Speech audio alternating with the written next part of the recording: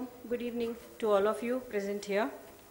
And uh, I'm extremely happy to be a part of this uh, event because uh, this is, I think, for the, uh, it's one of the rarest occasion probably when the administration, the bureaucrats, the industry, and even the educational institutions and uh, universities are being a part of a forum.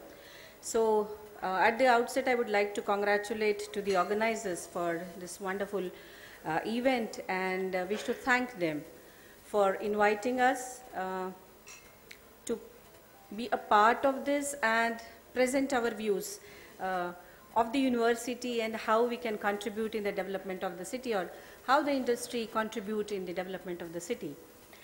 I think uh, city probably uh, is known by the university. It's a very, very strong university.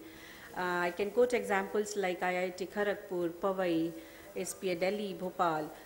So uh, these places are known by the universities and university uh, really contributes to the development of the city. Uh, because when university comes, there are so many logistics uh, attached to it. Basically, that's more inflow of the people in the city. So there is a requirement of infrastructure. Infrastructure in terms of maybe housing, maybe uh, affordable housing, smart housing, transportation, entertainment sectors, um, hospitality, hospitals, n number of things are there. And uh, there is this vibrancy that is always added to the uh, city when young generation comes to the university to learn something. Uh, if I talk in today's context, the scenario of teaching learning has changed entirely. Uh, the conventional methodologies of teachings are no more there. What we are into is kind of the industry interface uh, syllabus that we always like to apply, and that's what we try to do. At Amity University, we do that, and I'm so thankful to our uh, founder president Ashok K. Chauhan and our chairman Dr. Aseem Chauhan because they have given a beautiful vision and mission to this university and that's why they are one of the uh, topmost universities in the world. I think a basic reason for that because they have given, uh, they have made the Amity University as a research oriented university. So a lot of emphasis is given on the research. So we uh, we have so many programs where we motivate students to participate and compete for the innovative ideas. We have even startups also. We have our uh, corporate research center also. So uh, there are so many parameters I think today uh, university needs and that's what we have. But moreover, when university come to a city, it also adds to the economy of the city because when definitely outsider comes, he becomes the paymaster and he gives lot of business. People gets jobs. So uh, all in all, we develop. So, uh, but the worst part is we try to become idealistic. We teach them how to become idealistic and practice in the uh, industry but unfortunately, when these students enter into the industry, they can't execute the ideas that they have in their mind. So my question is, are we really supportive to these young innovative ideas? When we talk about smart cities, when we talk about the technological solutions, I think when a teacher speaks, uh, she or he always needs to have silence in the room so I would request all of you to keep silence, please. Thank you. Uh, are we really ready to absorb these young, innovative, energetic young minds who have so many ideas in their minds, who on the university level experiment so much. They come up with so many beautiful ideas, but we don't give them chance even our CPWD uh, setup, our PWD setup do not have that um, ideas maybe wherein they can calculate and estimate and that item can be included in the tender. We don't have that facility. So I think even the government organization, the administrator, the policymakers, they also need to uh, be more smart, be more inclusive, And I'm so thankful uh, to uh, Mr. Tayal because he has given us a wonderful opportunity to be a part of this summit. And I would like to uh, share with all of you that every year we conduct uh, activity for our students in vertical grouping, wherein all the students are sent in groups to understand what the society is, to understand the city, to understand the culture. Sometimes we send them to village, like last time we sent them to Champa village for the documentation work. When they go there, they really see very closely how the uh, weavers live, how they work, how the composite houses are, and what can be done to uh, give some new module to their uh, residences. This time we undertook an exercise of redesigning a garden because open spaces and gardens are like breathers of the city and always are neglected. So we thought that let us utilize this space and try to come out with some innovative ideas wherein the place which is used only in the morning and the evening can be used between 10 to 5 p.m. And trust me, students have come out with beautiful, innovative ideas. I think innovation is always there and it has been a part of our culture and that's why we are, I think, uh, sustained this 5,000 years. And Mohenjo-daro, Harappa, Nalanda University are the best examples of that. They were so good, so rich. And I think we have drifted away from everything.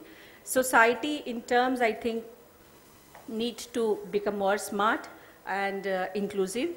So like a good teacher, what she is expected to do, I would like to present before you a small video made by my students and they have come out with beautiful ideas and I'm sure that some of the ideas can definitely be incorporated in the smart uh, city or even making the uh, sustainable planning. So uh, my request to the organizers to run the video please. My students please come and join me here.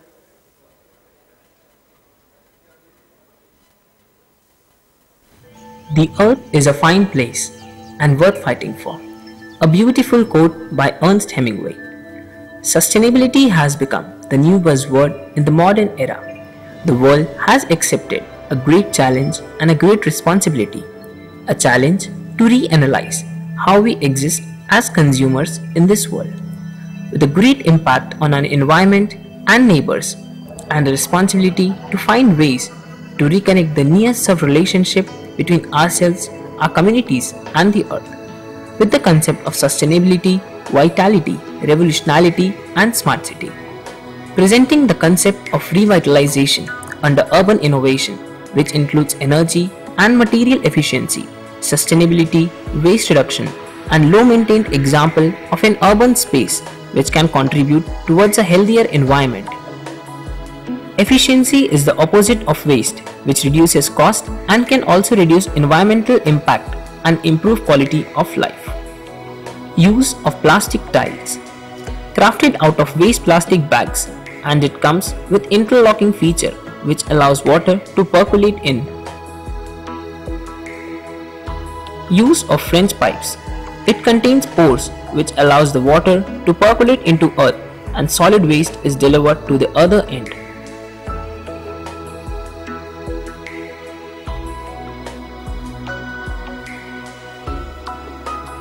These efficient design strategies can also contribute towards rainwater harvesting.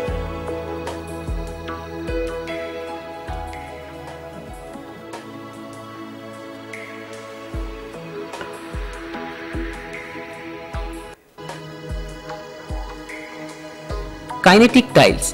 The site can be dedicated to the existing prospect of producing electricity by applied pressure. This relatively new concept has the potential to contribute to the reduction of the use of so-called dirty energy.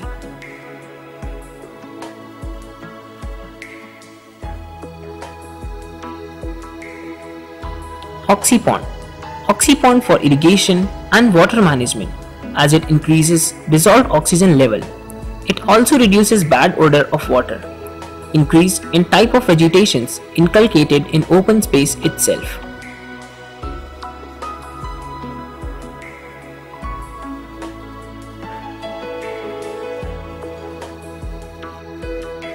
Compost A soil amending product.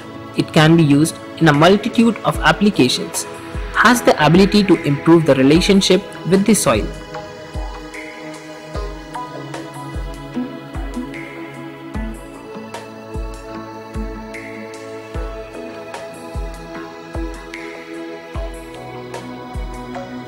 Solar energy.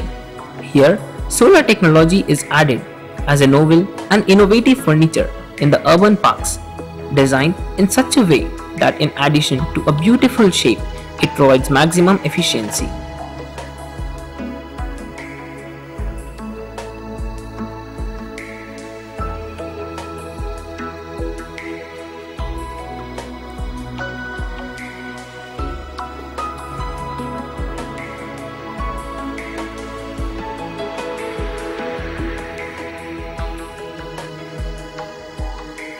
Using the above concepts and practices, any existing urban space can be revitalized or be made sustainable without harming the existing environment. The earth is a Thank you, students.